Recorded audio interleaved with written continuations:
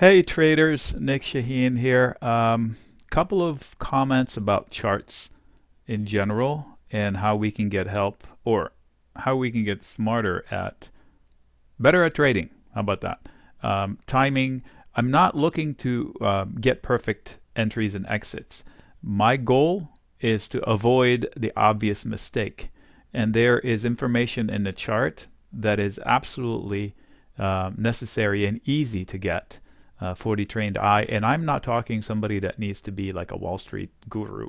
Uh, I'm not from Wall Street. I'm an engineer who figured out this stuff uh, on my own with the help of a couple of friends along the way. Um, so I'm going to try and share one specific example to illustrate the importance of charts and spending a few minutes looking at charts, either the ones you, you draw yourself if you know how to do it, or if somebody hands you an email every morning with information what to do with it. So this is the QQQ. Today is 510. It was an ugly day in the market, especially for the Qs. Uh, what was the end of the day? Two and a half percent down. So how could we have been somewhat ready for it?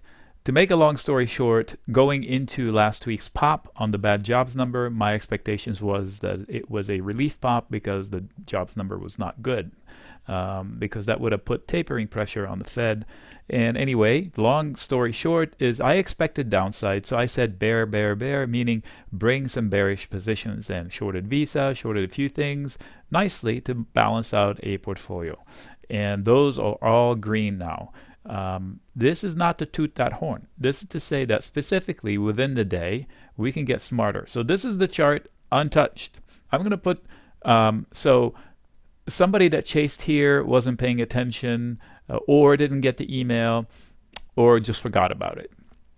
And somebody, I'm getting a lot of questions here as to can we go lower? First of all, I can't tell the future, but I know what lines are important. So, speaking of, let's put the lines I shared this morning.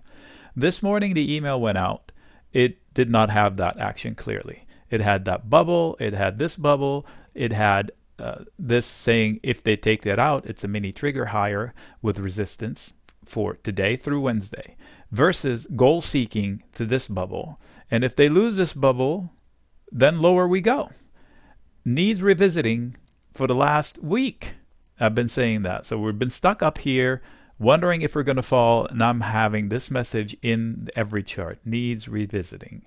Support clusters, look, prior support was resistance here. So these bubbles are not um, coincidences. And if we lose this, sure, we can go lower tomorrow. Are we going to lose it? I don't know. I know for a fact that if we pop, we're going to have resistance going into 330 and 332. So I don't chase it going into that. And that would be my message tomorrow. It's a resistance zone, but I will have another one down here for the message into tomorrow. So what would the message tomorrow look like? I don't want to predict right now, but I'm going to show you what it would look like. So this was the, the one today, before the action happened. Goal seek. Guess what? Beeline for the goal seek and um, slightly below it. So given that this is a weird looking gap here, I'm not going to say that immediately below the yellow line is a disaster, but losing this and that is not encouraging. Then, but they're still close enough to where it's not the end of the world in the QQQ. And this is a 60 minute candle, by the way. Each candle is one hour. So the job on the bulls tomorrow is to first pop above this failure point and then use it as support. Like show me you can hold it. Then try to negotiate your way up. So look at the blue red. That was today, uh, this morning. So the channel is still ascending with a topping formation.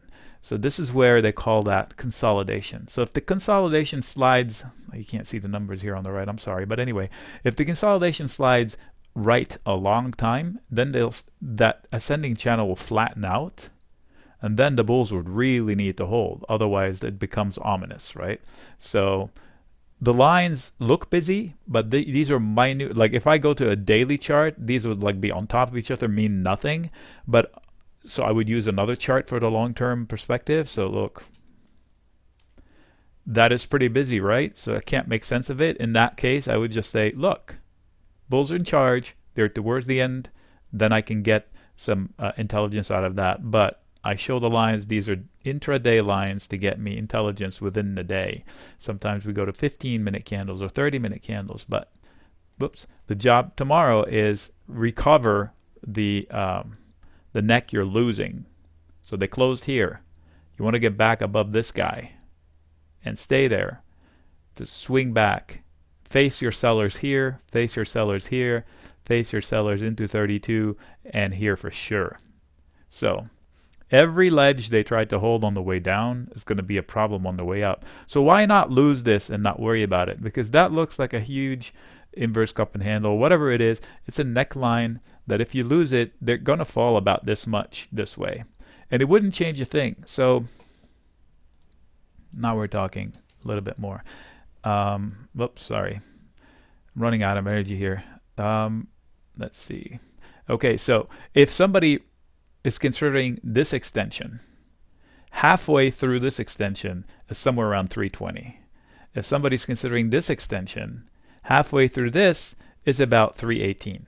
So you drop this much, you bounce half, normal price action. Then you come back and you establish footing, you pop out.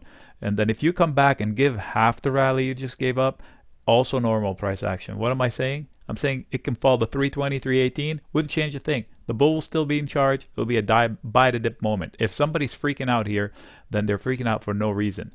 This was a top. They should try to hold it. There's a gap. They can not hold it and come down to 320 and make everybody happy. In fact, 315, 14 would be even better. Not for me, but for the technicians out there. So don't freak out. And this these skills are so easy to gain. You just need to practice them over and over. If I, am going to check my schedule, I don't know. If I have time, I'm going to put a link in the description to some private uh, one-on-one like Zoom sessions to share the knowledge. Uh, they won't be free clearly because it's a lot of work.